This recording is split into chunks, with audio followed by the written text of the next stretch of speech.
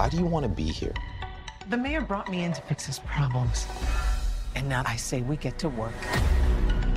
I've been underestimated my entire life. I didn't get where I am by being stupid.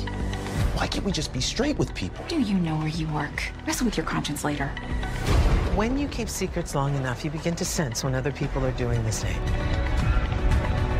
I have to make choices. Then make the right choice now.